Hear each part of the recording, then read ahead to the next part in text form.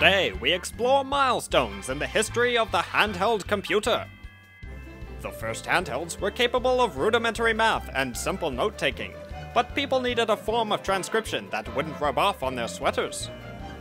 In 1984, London based Psion released an organizer cleverly named Organizer. This appointment address book calculator promised the easy storage and retrieval of infinitely large databases, provided you didn't mind reading them on its 16 character one line display.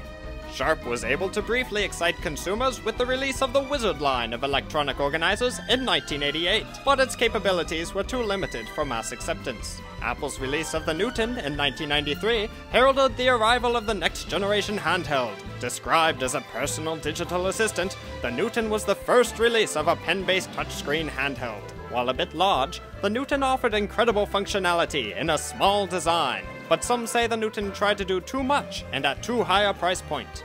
The first widely commercial success would come in 1996 with the release of the Palm Pilot. Based on portability and simplicity, the wildly successful Palm set the market for a flood of other handheld releases by all sorts of companies toting faster processors, color screens, slimmer profiles, and wireless connectivity.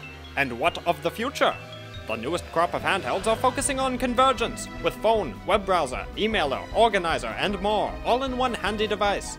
So don't worry, that handheld that's designed to fit your specific needs may be coming soon to a store near you.